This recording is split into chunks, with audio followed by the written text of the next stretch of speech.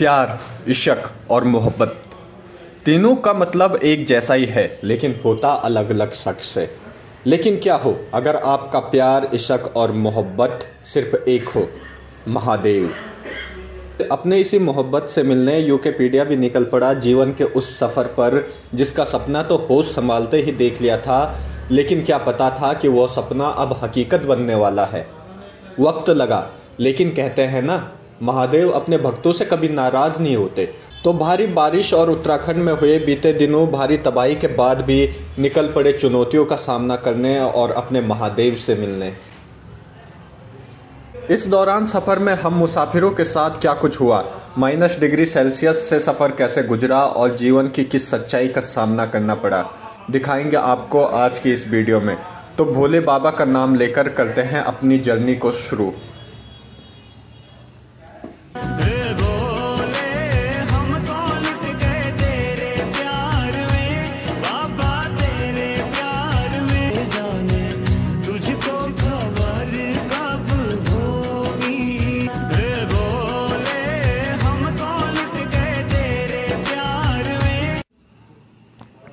दोस्तों, अगर मैं आपसे पूछूँ कि सफ़र कैसा होना चाहिए तो ज़ाहिर सी बात है, आप कहोगे कि वैसा होना चाहिए जिसमें रोमांच हो, एडवेंचर हो, थ्रिल हो। लेकिन अगर रोमांच के साथ साथ आपको ये खूबसूरत से पहाड़ कल कल करती मंदाकनी और छोटे छोटे गाँव और पहाड़ का जीवन देखने को मिले तो? एक अलग ही फीलिंग आती है ना? तो यही सब है जो एक सफ़र को यादगार बनाता है। कभी न भूलने वाली स्मृतियाँ जहन में गढ़ जाता है। केदारनाथ, नाम सुनते ही एक अलग सी ऊर्जा पूरे जहन में दौड़ने लगती है। उस ऊर्जा की जितनी तेज तो नहीं, लेकिन भोले बाबा से मिलने की उत्सुकता इतनी थी कि पहाड़ की इन सड़कों पर 50 से 60 किलोमीटर प्रति घंटा की रफ्तार से दौड़ रही गाड़ी भी मानो कछुए की चाल से प्रतीत हो रही थी। लेकिन जैसे ही नज़रें गाड़ियों से हटाकर प्रकृति की इस खूबसूरत तोहफे की ओर जाती तो मानो दिमाग एक अलग ही दुनिया में चला गया हो। खूबसूरत से छोटे बड़े हरे भरे पहाड़, चेहरे को सहलाती ठंडी हवा और मंदाकिनी के प्रवाह की मध्यम आवाज़। दिल तो यही कर रहा है कि बस यहीं बस जाओ, इन घाटियों में ही। लेकिन कहते हैं ना कि भगवान से मिलने जाओ तो रास्ते की मोह माया आपको सफ़र तय करने नहीं देता। लेकिन हम तो भोले के भक्त हैं ना, मुँह माया से काफ़ी दूर। इसलिए फोकस सिर्फ़ एक, मंजिल सिर्फ़ एक, बाबा केदार। बात करते करते पता नहीं चला कि कब हम गुप्त काशी पहुँच गए। ये जो बाज़ार आप देख रहे हैं ना, यह गुप्त काशी का मुख्य बाज़ार है। इससे आगे बढ़ते हुए हम निकलते हैं सोनप्रयाग की ओर, क्योंकि जितनी जल्दी हो सके हमें गौरी कुंड पहुँचना है। और फिर आज ही गौरीकुंड से केदारनाथ धाम के लिए पैदल यात्रा।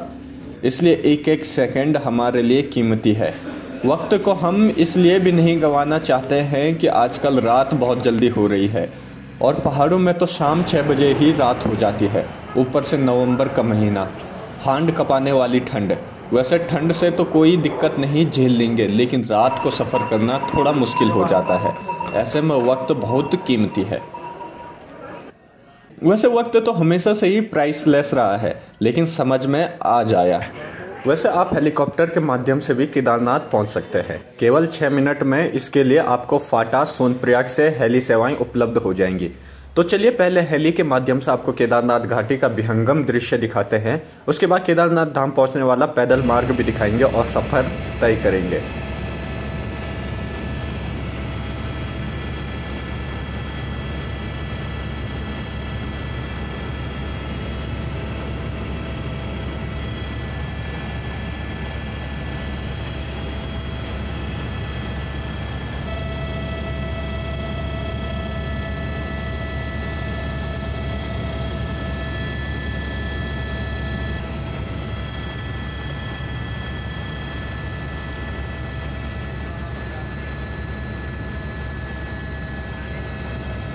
ये पूरा दृश्य जो आप देख रहे हैं, वो केदार घाटी के हैं।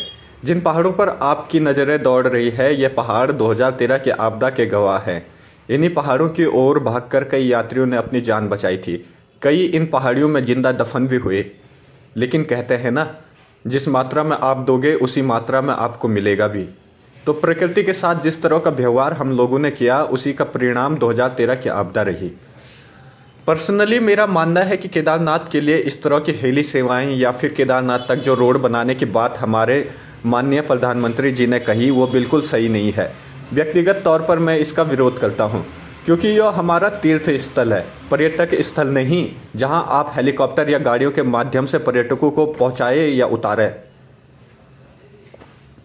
इसके लिए और भी जगह है उत्तराखंड में, कई पर्यटक स्थल हैं, उन्हें विकसित किया जाना चाहिए, लेकिन बाबा केदार के धाम की यात्रा उसी तरह होनी चाहिए जैसे आज से 40-50 साल पहले होती थी, ताकि केवल वे लोग ही यहाँ पहुँच सके जो वाकई बाबा केदार में आस्था रखते हो, ना कि पिकनिक और बर्फबारी देखने के लिए यहाँ आना चाहते हो।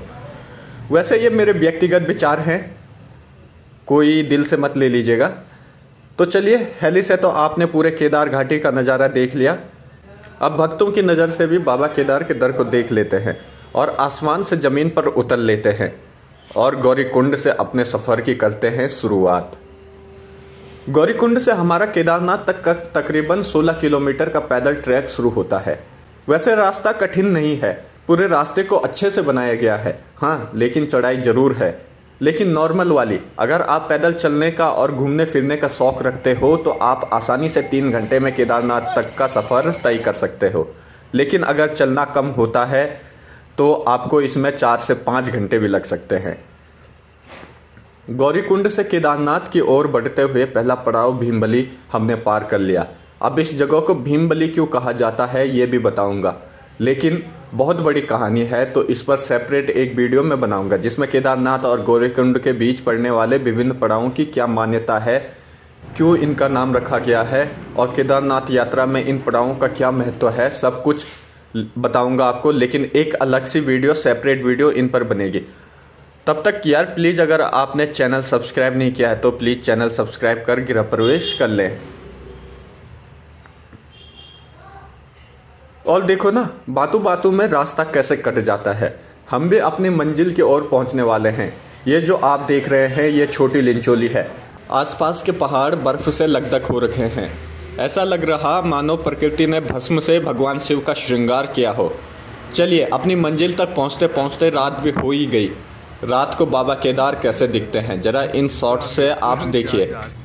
बाकी बाबा केदार के दर्शन तो सुबह ही होंगे। और अभी तुम्हारा भाई भी बहुत थक गया है तो चलिए आराम करते हैं।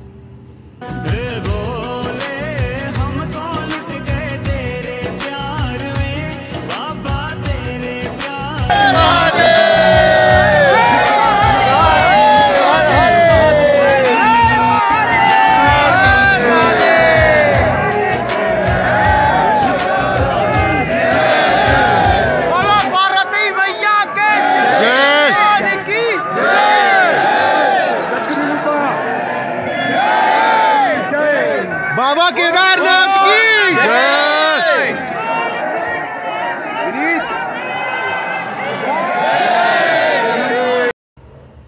जय। बाबा केदार। एक नई सुबह बाबा केदार के दर पर। यहाँ पहुंचकर जो शब्द मन से निकल रहे हैं, वह है सिर्फ़ और सिर्फ़ जन्नत, स्वर्ग। अगर मैं इस जगह को कुछ शब्दों में डिस्क्राइब करने की कोशिश करूँ तो यही कहूँगा, अद्भुत। अकल्पनीय, अलौकिक, अद्वितीय। वैसे हिंदी के इन भारी भरकम शब्दों का प्रयोग कम ही होता है, लेकिन अगर आप केदारनाथ धाम पहुँचते हो और ये नज़ारे देखते हो तो लगता है कि इन शब्दों के साथ न्याय हुआ है। वाकई अगर कहीं इन शब्दों का प्रयोग किया जाना चाहिए तो वो जगह है ये, बाबा केदार की नगरी।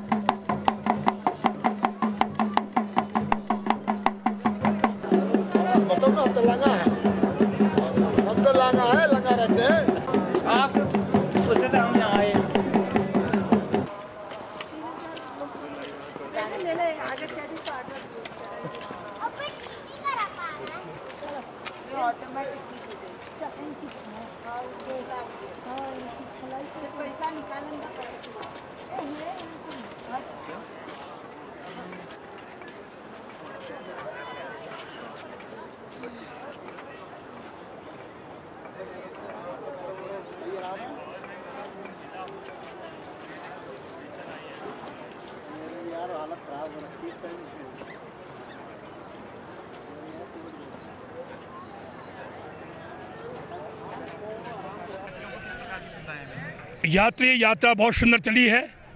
कोविड के टाइम को देखते हुए हमें ये सार ये पता, ये विश्वास नहीं था कि इतनी यात्रा चलेगी। लेकिन भगवान की भक्ति में कहीं कोई कमी नहीं है और भक्तों में भी कोई कमी नहीं है। यात्रा ऐसी चली कि बहुत यात्रा चली और बहुत शांतिपूर्ण ढंग से यात्रा चल रही है। यात्री आ रहे हैं, भगवान के दर्शन कर रहे हैं। सभी लोग आ रहे हैं, सब भगवान के दर्शन कर रहे हैं। यहाँ पे किसी प्रकार की कोई दिक्कत नहीं है। और भगवान साक्षात रूप में अभी दो तीन बार बर्फ़ भी पड़ गई है। भक्तों को दर्शन भी दे दिए हैं। और हम यही आशा करते हैं कि यात्री आएँ, यात्री चलें। लेकिन हमारे से एक प्रार्थना ज़रूर है कि सरकार ने एक कह रहे हैं कि अभी हमने सुना है, मोदी टीम प्रोजेक्ट। हम मोदी टीम प्रोजेक्ट का कोई विरोध नहीं करते हैं। विनाश के साथ विकास भी ज़रूरी है, ज़रूर होता है, लेकिन ऐसा नहीं कि हमारी जो धर्मशालाएँ, जो व्यवस्था हैं, सरकार उनको तोड़ करके और अपनी व्यवस्था को जो उस पर थोपे। तो इसका तो हम ज़ोर, इसका तो हम पूर्ण विरोध करेंगे करेंगे। हम चाहते हैं विकास हो, सुंदर हो